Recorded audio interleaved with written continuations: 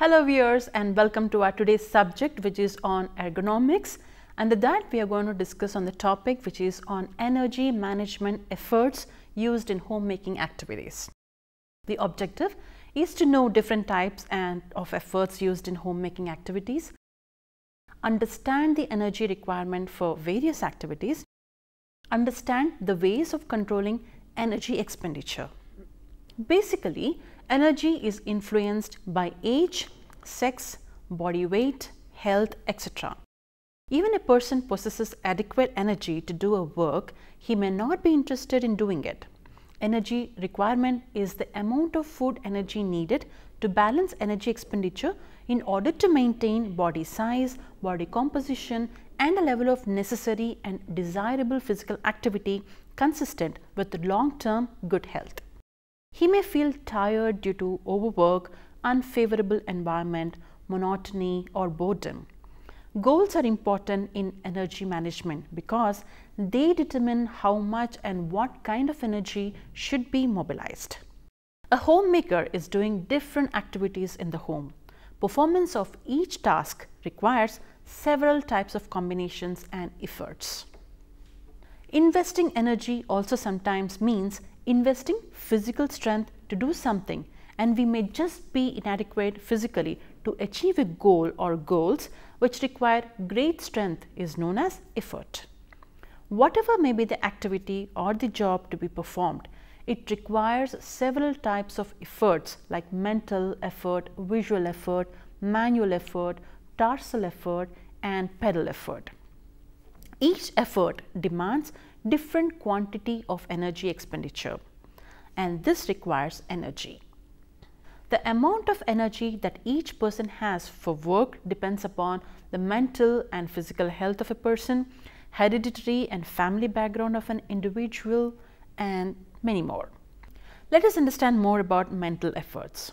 While performing routine tasks as dressing, sweeping, dishwashing and other activities, mental effort is required. Mental effort is required to do any task even the routine tasks like cooking, cleaning, washing etc. Though these tasks are performed daily, still one has to think about the way in which it has to be performed and mentally organize the task in sequence. What are the visual efforts? All activities require looking at the object, adjusting to light and vision to direct our movements. These are the visual efforts like muscular movement of the eyes and adjustment of vision to different distances and lighting conditions takes place constantly. The activities like preparation of meals, table setting, dishwashing, laundry, stitching, cleaning and uh, cobwebs, reading, watching TV, etc. requires visual effects. All the activities involve visual effect, although we are not aware of it. Muscular movement of the eye and adjustment of vision to the object of different distances and lighting conditions continuously take place while performing any work. So, let us now understand about manual effort. A major portion of the effort in household tasks is manual effort. Example, cooking, washing, ironing of clothes, cleaning, sweeping, mopping of rooms, cleaning of utensils and some other activities require manual efforts where the whole body is working. The next is torsal effort. Some of the more strenuous household tasks like bending, reaching, raising, lifting, holding, carrying, leaning, turning, pulling, uh, pushing, kneeling etc. require the movement of torso or both hands and legs which is called the torsal effect. These are needed in doing more strenuous activities and demand higher energy costs. So, what are pedal efforts? Some of the activities in the house involve use of legs and feet movements that is standing, walking, climbing stairs etc. Since the whole body needs to be moved around these activities have heavy energy demands. It is called pedal efforts.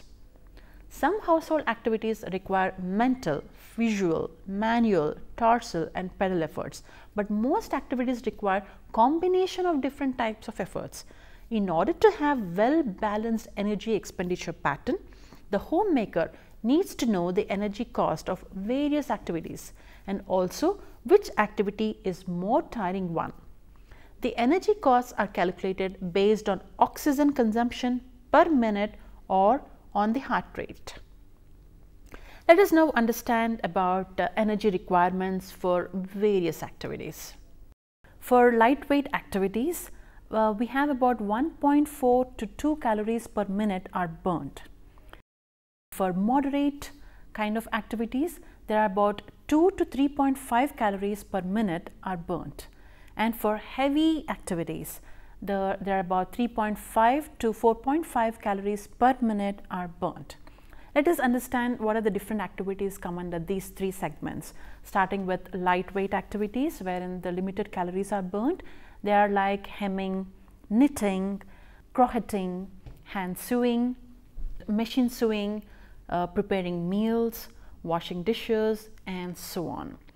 Now let us understand what are the activities for the moderate calorie burning.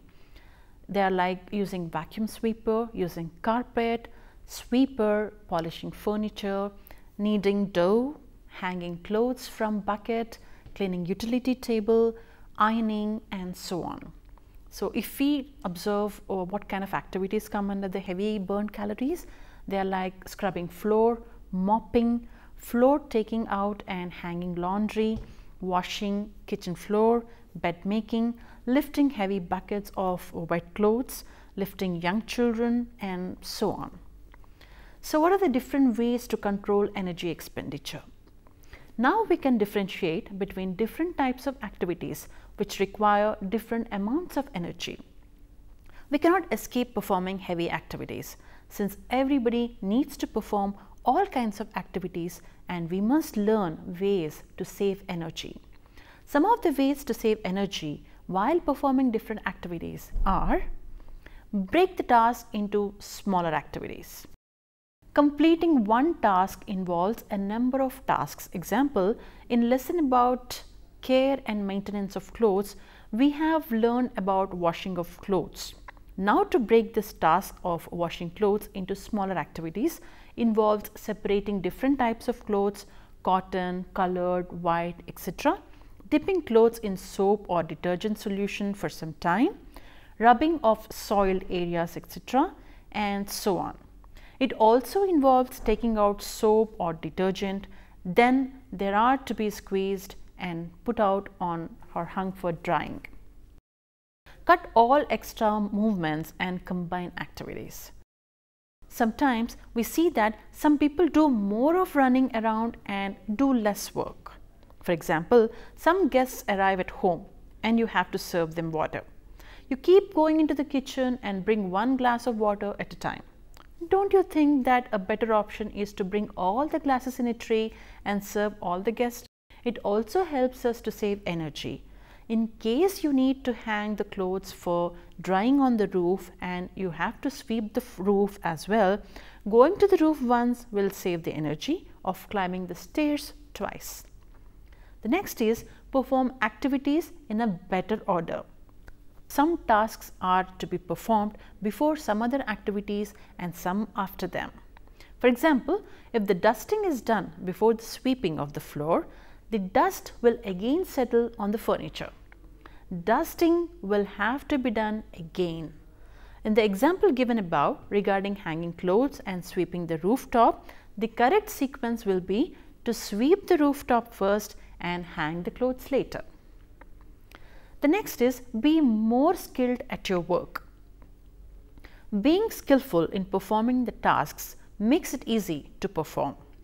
This saves a lot of energy. For example, a child is learning to ride a bicycle. Her father is holding the bicycle from behind to provide support and balance. He is constantly supervising her learning so that she is safe and gradually picks up the skill in riding the bicycle. The next is use the correct posture.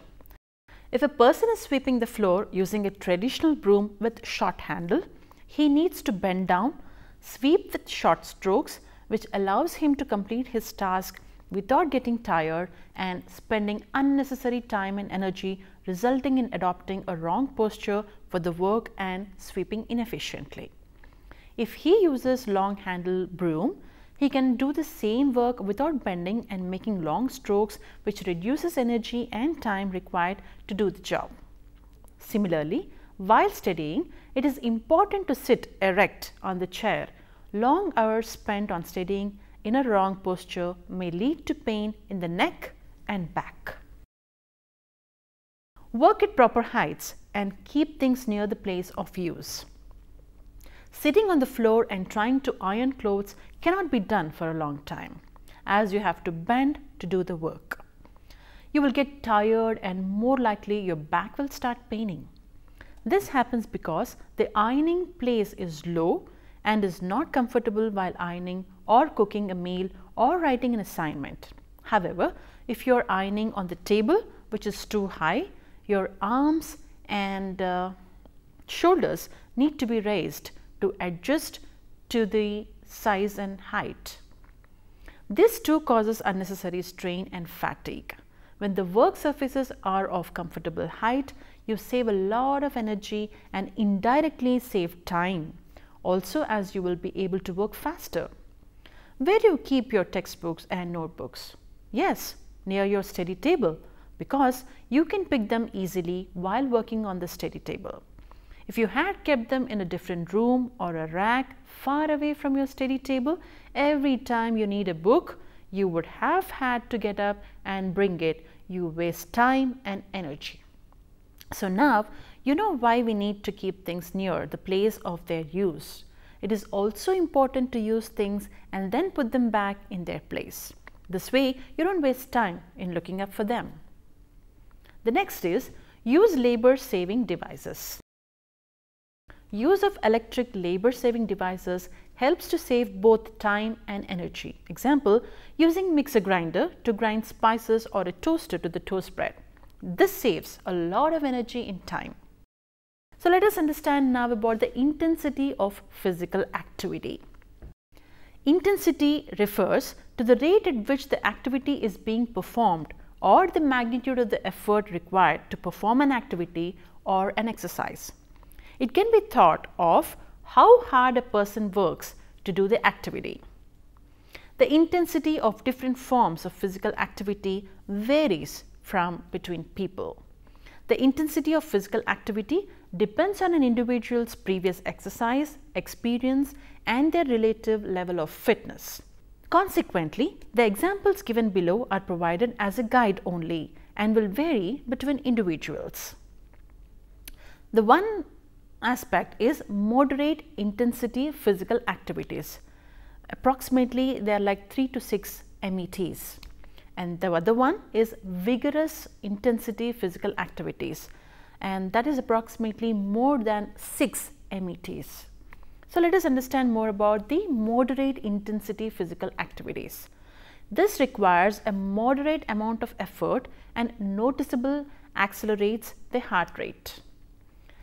Examples are like brisk walking, dancing, gardening, housework and domestic chores, active involvement in games and sports with children, general building tasks, carrying or moving moderate loads which is less than 20 kgs and so on. Let us understand now about the vigorous intensity physical activities. They require a larger amount of efforts and cause rapid breathing and substantial increase in heart rate. For example, they are like running, walking or climbing briskly up a hill, aerobics, fast swimming, competitive sports and games such as football, volleyball, hockey and so on, heavy shoveling or digging ditches, carrying or moving heavy loads which are like more than 20 kgs and so on.